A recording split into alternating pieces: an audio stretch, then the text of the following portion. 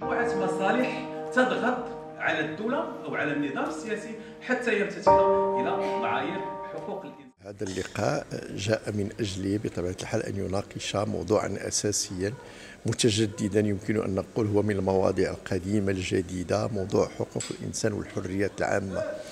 وشكل اليوم هذا اللقاء نقطة التقاء بين عدد من الأساتذة الباحثين الذين جاءوا إلى هذا المركز من مناطق مختلفة من المغرب يمثلون الجامعات المغربية وعدد من الباحثين الشباب الذين يهيئون بحوث إما دكتوراه أو ماستر أو ما شابه ذلك.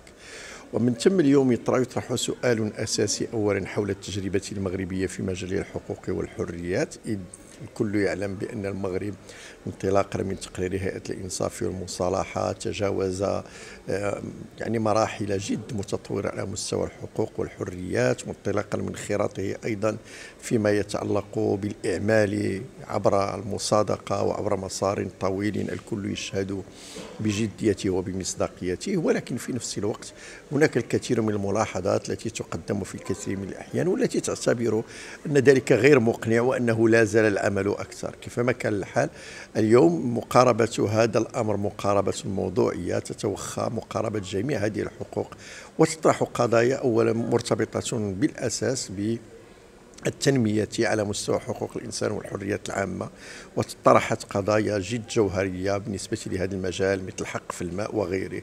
ثم هذا اللقاء أيضا ليس لقاء وطنيا فحسب ولكن أيضا منفتح على متدخلين تدخلوا عن, عن بعد من موريتانيا ومن تونس وسيتدخلون أيضا من دول أخرى. يأتي تنظيم هذه الندوة كخطوة وكمساهمة من مركز مسارات الأبحاث والدراسات القانونية لخلق النقاش تجديد النقاش حول أحد المواضيع الرئيسية والهامة والمتعلقة بالحقوق والحريات.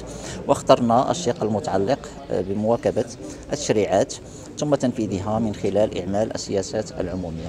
نعلم جميعا تعلمون جميعا أن آه، موضوع الحقوق والحريات فهو موضوع متشعب.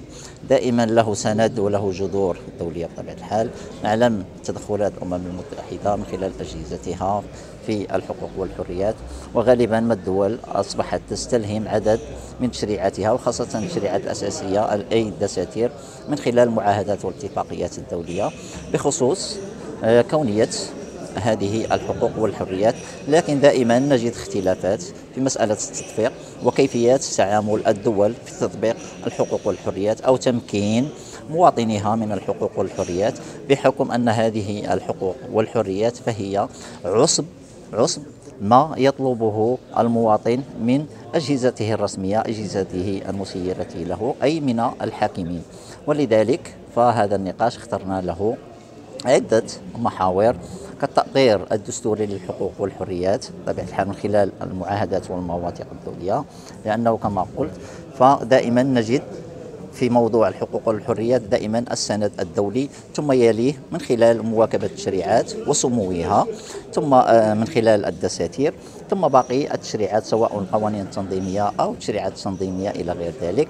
ثم آه، محور آخر الجانب الأجرأ وهذا هو المهم إذ لا يكفي لا يكفي أن نسن قوانين نشرع قوانين ولكن ما يهم دائما وهو الجوهر وهو التنفيذ أي يجب أن تكون هناك سياسات عمومية رشيدة تعمل على أجراءات وتطبيق هذه الحقوق والحريات لكي يلمسها المواطن ولكي ترتقي به في تنميته إلى غير ذلك.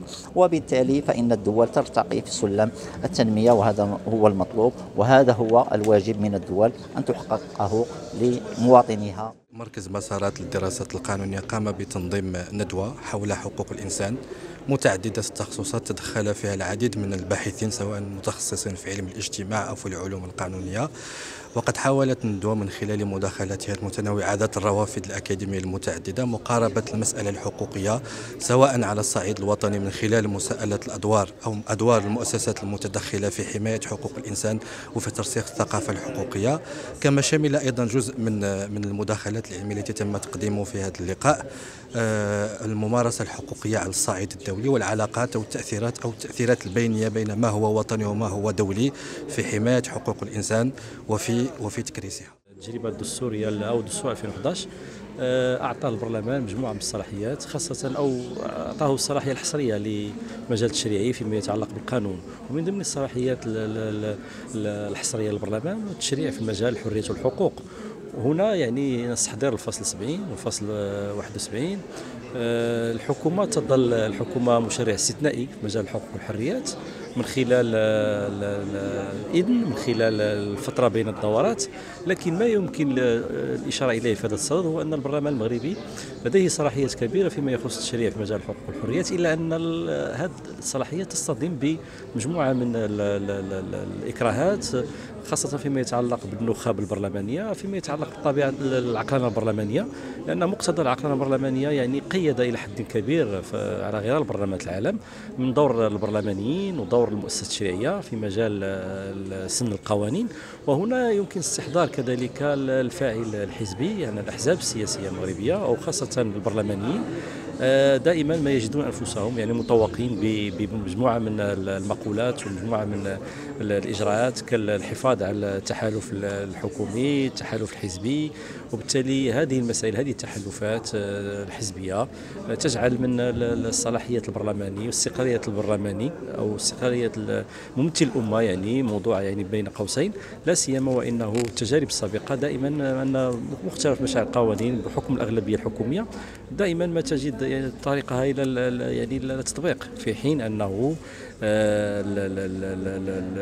من خلال مجموعة من التجارب أن الحكومة تحولت في على غير باقي التجارب الدولية الحكومات تحولت إلى مشرع من مشرع استثنائي إلى مشرع فعلي وبالتالي هذا الإشكال اليوم في إطار النقاش حول الحرية والحقوق يستدعي أن نطرح مجموعة من الأسئلة مجموعة من التصورات حول كيف يمكن أن نعيد للبرلمان هيبته صلاحيته التي أعطاها له الدستور وبالتالي هذا نقاش كبير ربما يرتبط بطبيعة آه، الخلفيات الفكرية والثقافية البرلمانية يرتبط بمجموعة من التحالفات الحزبيه يرتبط بمجموعه من الالتزام الالتزام الحزبي يرتبط بالبرنامج الحكومي. إذا النقاش اليوم كان حول دور البرلمان آه، في إطار المداخلة التي تفضلت بها دور البرلمان في حماية حقوق الحقوق حقوق والحريات وهذه الإشكالية ربما ترتبط بمجموعة من مداخل الجانب الدستوري المدخل الدستوري القانوني فالقانون ربما والدستور يقدم مجموعة من الإجابات حيث أن الحكومة لديها صلاحيات البرلمان لديه صلاحيات